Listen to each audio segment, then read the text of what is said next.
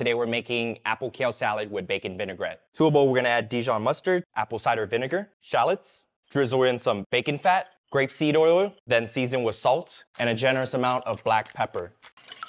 When you're ready to serve, go ahead and warm up your vinaigrette, then add it to your kale along with some apple slices, crispy bacon, give that a good mix, then plate up, garnish with more bacon and your favorite nut mix.